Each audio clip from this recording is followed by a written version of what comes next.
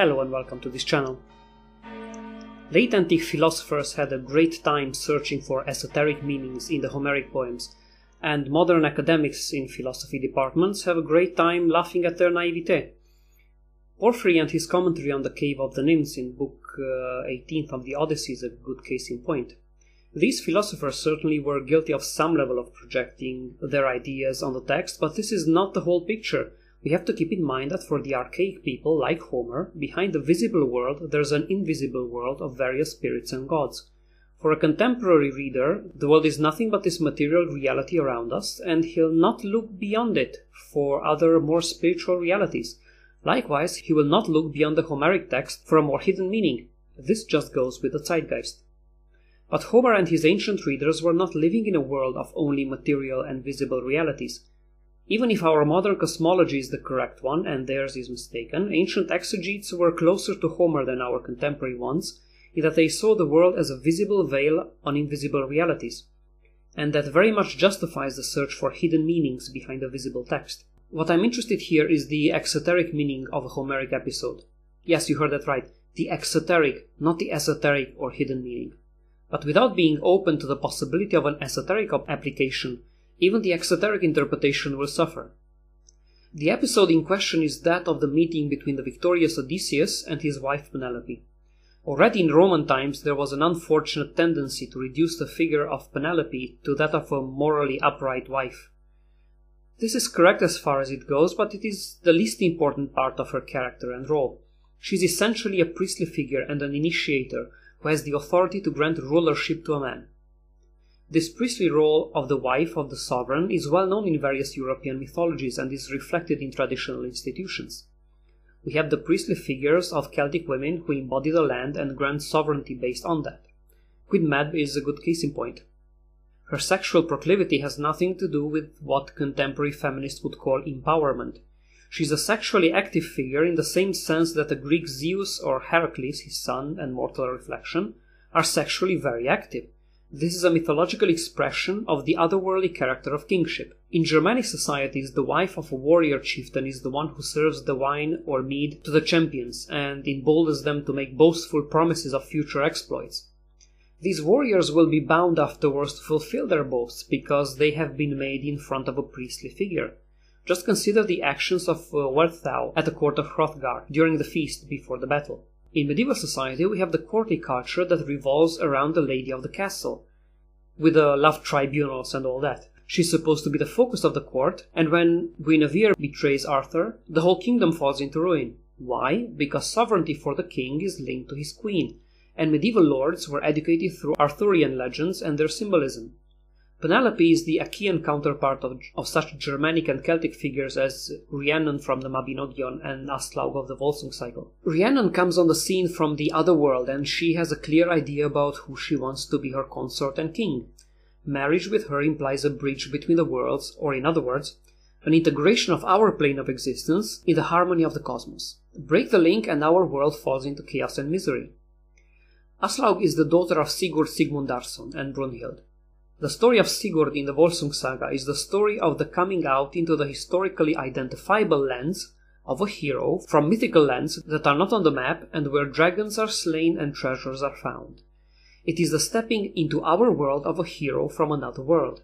And it is this coming into our world from the other world that is the basis of sacred kingship, and without it there can be no harmony and good order in our world.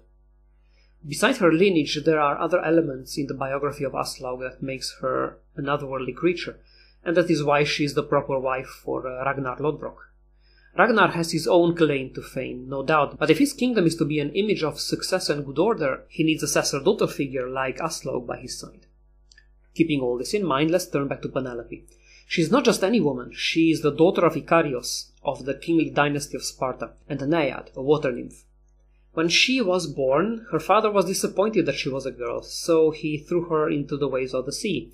But the birds kept her company, and she returned from the water, and Ikarios recognized the divine sign. He took her in again, and henceforth she was the apple of his eye. The story of a hero thrown into the waters that comes back is quite well known around the world, and it tells us that he or she has come to us from another world. It is an image of a death and rebirth and the fact that this is happening where the water and the land meet tells us we are dealing with a meeting of different worlds. This should be enough to establish Penelope in the same group as Rhiannon and Aslaug. Now, if you remember the end of the Odyssey, you know that the meeting of the hero with his wife did not exactly go as he was hoping. He came to the court of Ithaca uh, as a beggar, fought a bloody battle with the suitors and their helpers, murdered them all, separating the faithful within the household from the traitors, and meting out punishment as it is fitting for a proper king. All the time he, their son, and their faithful servants were fighting downstairs, she was sleeping in their conjugal bed upstairs. While he was exercising his role as a king by giving judgment downstairs in his palace, she was resting upstairs in the bedchamber. When she comes down, instead of embracing him, she is cautious. Eurycleia based the hero to make him look truly regal, but Penelope will not let her guard down, and the hero agrees to sleep separately, though he is saddened. She asks the servant to make the bed for the stranger outside the bedchamber. At that, Odysseus reacts angrily, as you would expect, and asks who could move their bed since he made it himself from the trunk of an olive tree, leaving the roots in the ground and building the palace around it. Finally, Penelope recognizes her husband, and they are reunited.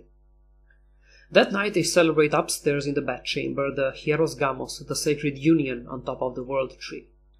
What we discover from this exchange is that the palace of Odysseus is built around an olive tree that goes through the various levels of the building, and the top of the tree was refashioned into a conjugal bed. This is clearly an image of the world around the Axis Mundi, with its different levels. On the ground level, there's the feasting hall, where the suitors were eating and drinking and where the battle and the judgment took place. On top of that, the bedchamber, that is for the lord and lady of the palace. This description of the palace should make us remember the hall of King Volsung in the saga named after him. His father had no children, so he had to ask the gods for help. As he was sitting on the mold, he received from Odin, through the giantess Hrimnir, an apple that he ate. Volsung was thus born, and the lad, when he was of age, took Hrimnir, the messenger, as his wife. He also built a great hall around an apple tree called Branstock. In the trunk of this tree, Odin will put a sword for the proper hero. This hero will be Sigmund, the son of Volsung, who, according to the version of the story preserved in the 13th canto of Beowulf, is the hero who kills the dragon instead of Sigurd. So we have here the same imagery, the connection between the worlds established by Hrimnir and the apple, that become the tree Branstock and the union between the messenger lady and the legitimate king. Hrimnir is the source of sovereignty for Volsung, just as the tree is the source of sovereignty for Sigmund. Sovereignty is based on the connection with the other world. In the Odyssey, when the lord of the palace went away, the sacred union celebrated on the top of the world tree stopped. Chaos ensued on the lower level of the palace, and misery came upon the land, as you would expect. The Hieros Gamos on top is the source of harmony and good order in the lower levels of the palace, and by extension, in the whole kingdom. The sacred union in the higher level of the palace is the ritual that effects the union between the cosmic formal and material principles. This union is the image and application of the essential unity of the first principle, before any polarization into the formal and material. It is this union of form and matter that gives birth to the whole world and everything in it. So the conjugal union is a sacred ritual expressing this at a social level. And when a kingly couple does it, we have it applied to the political level. But why wouldn't she let him in? Because the manifested world has different levels along the world axis that are particular worlds, and these particular worlds are not all the same. What goes at one level will not go for a different level. As an example, union is an expression and image at the lower levels of the primordial unity. But union and unity are two different things belonging to two different levels. Ask Plotinus. In the same way, the palace that is a replica of the world has different levels, and what goes on one level will not go for a different level. The hall of the king is the place for judgment. That is where the subjects and strangers come to see the king and seek justice or hospitality. When this part of the palace is overrun, the king has to subject the invaders to his justice by violence. And that is what a hero does. He kills and punishes. What he needs there is strength and faithful subjects. For the bedchamber on the, on the upper level, he has to remember the layout of the palace and to know the secret that only those that belong there can know. His legitimacy stems from knowledge, gnosis, and remembering, anamnesis. Different rules for a different world. What Penelope does is to ask the initiatory question that separates the deserving from the profane. Her role, as I said, is sacerdotal. Had not Odysseus respected her decision and tried to force himself on her in their conjugal bed, he would have applied the rules of the lower level of justice and punishment to the higher level of gnosis and anamnesis. That would have broken the world axis and the palace would have fallen into a chaos worse than before when the suitors at least respected the privacy of the queen. Penelope is not about banal bourgeois sexual faithfulness. She is the epitome of conjugal values because she is literally out of this world. Her role is to link worlds, to be a pontifex or a bridge maker because the good order of a particular world depends on how it relates to the other worlds that make up the cosmic order. The role of sacred kingship is to order this world around a particular manifestation of the world axis, and starting from it. The vertical priesthood and the horizontal kingship define and produce a well ordered society, and within a society, a well ordered household.